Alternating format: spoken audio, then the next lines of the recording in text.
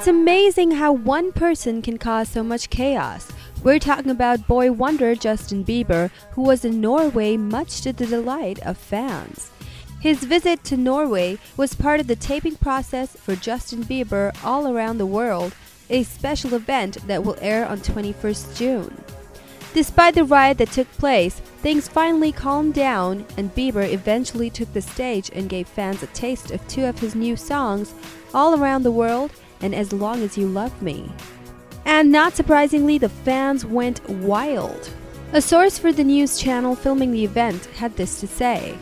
We'll have unprecedented access to Justin as our cameras film not only his performances, but his every move on this global tour, giving our viewers an all access pass to his life over a 12 day period, something rarely seen on TV today.